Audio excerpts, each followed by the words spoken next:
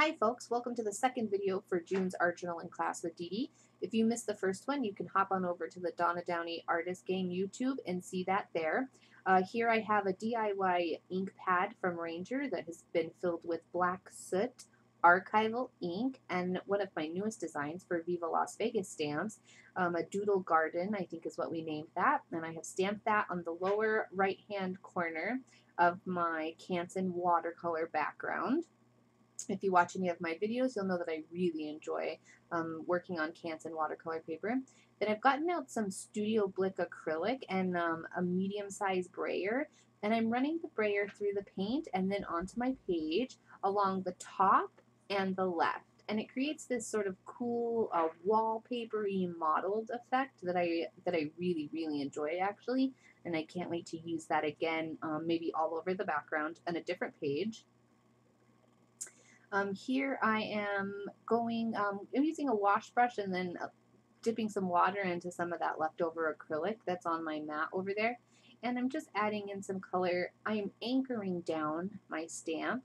Until this point it was kind of floating on the page and I wasn't really digging that at all. So um, I'm using the paint to to anchor it to the left or to the right hand side there. I just watered down some of the paint that was left over on my mat and a little bit that was in the lid. And I'm going back in and um, kind of dragging the paint up through the stems of this Doodle Garden stamp that I designed. And it's just helping everything kind of connect together and then making it more cohesive so that so that the pieces aren't separate on their own. It's more of a joined page. And I did a little bit of splattering with some of that really minute kind of like fine colored gray. And I'm making sure everything's dry here. Now I'm going to get out some high flow golden fluid acrylics. And this paint is new to me. I just started kind of experimenting with it and I really like it. I'll also get out a miniature cup. It's kind of like a little palette, a little plastic one. And I'm going to put a couple drops of the high flow acrylic into that.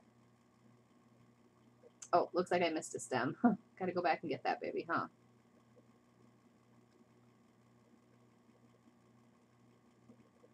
Dry it up, make sure all my acrylics dry. That's one of my favorite things about acrylics.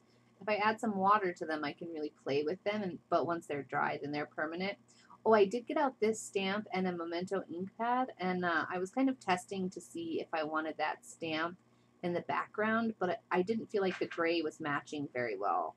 So uh, I didn't end up using it. Good thing I had some scrap paper to test on, huh?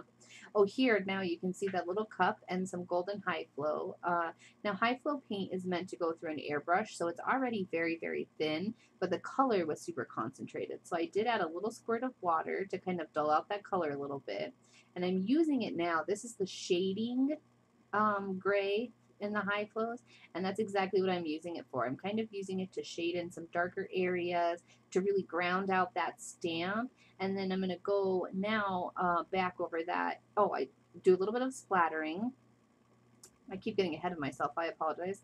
And then now I'm going back over some of that uh, brayered area with the acrylic paint um, to kind of just tie everything together because the grays are a bit different. One's a little darker and one's um, the the acrylic, the heavy acrylic, is a little bit lighter, but it's also kind of a cool gray, so it has a little bit of a blue tint. And then the high flow seemed a little warmer with sort of a red tint. So by going back over some of those areas, I can really pull everything together. I'm going to use my heat gun just to make sure everything's dry. The great thing about all the products I've used so far are that they're permanent once they're dry, so that's great. Um, I am going back in again and if you've watched any of my videos, you've probably heard me use the term song and dance, but, but that's exactly what it is. Sometimes you just got to play around with things and let them dry completely, go back in with another layer. It's going to be a little bit darker in some areas. Let that dry completely, maybe go back in even one more time.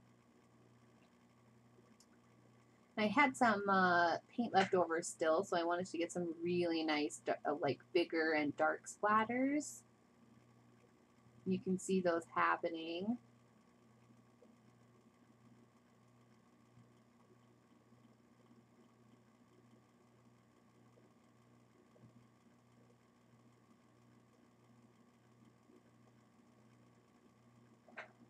make sure and dry those up so they're permanent and stuck in place and then I can come back with something else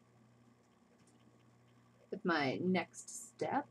Um, now I've gotten a little baby food jar and I'm using what's left in that, li that little tub, um, the little palette cup to add some marks, just some fun kind of coffee shaped or sort of similar circles. And you can use, if some of your paint ever gets too dark, you can always use a rag to pull some of the color out or a paper towel if you have. I really like, uh, lately I've been using muslin to kind of sop up extra paint and wipe my hands on and stuff. And um, I'll be using those in that muslin in some projects later.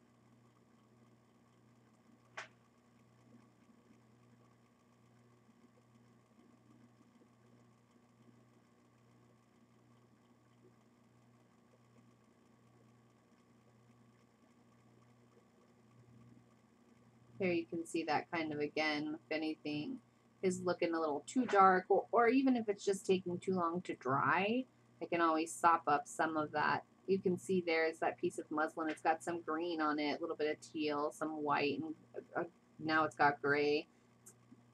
Could just be the exact tones I need for a project coming up. Now I've gotten a number two pencil, and I am handwriting, kind of just making it not legible um, along the the um, the bottom there. I turned my page over specifically so that it's more of an element than something that people are trying to read. And I wanted to mimic it in the top left corner. Uh, and this is composition, just kind of making sure that some of the elements carry across the page and that everything's not heavy on the right side with nothing on the left side. Now I'm just getting out some regular uh, Liquitex Gesso, Professional Smooth, and I'm going to use it to create some circles in that are going to overlap between the gray and the white area. And at this point, I was kind of feeling like I had done some color blocking, which I, is not um, something that I do very often. And I really wanted to marry um, those that gray line and that white line. So I'm going in and I do go over them twice just to give them a little bit more mm, because this gesso is a bit thin and I'm applying it with my fingers. So it's kind of squishing out in some areas. But just by letting the first layer dry and then going over it a second time, uh, that really helps and adds quite a bit of darkness. Uh, well, not darkness because it's white, but adds quite a bit of opaqueness to the paint, to the gesso. Then I'm going to make sure it's dry and I'm going to get out my Stabilo Marks All and go around each circle just a couple times. I don't want it to be super heavy because um, even the black of the stamp didn't come out super black, so it's kind of a fun gray toned piece. A couple times around.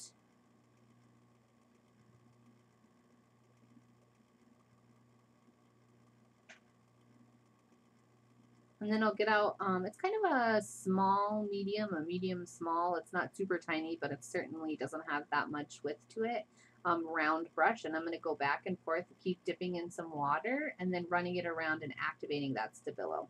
Now one of the things I always have to remind myself is that the Stabilo is going to dry quite a bit lighter than it shows here. Right now it's super wet and super intense, but as it dries it really um, grays back out.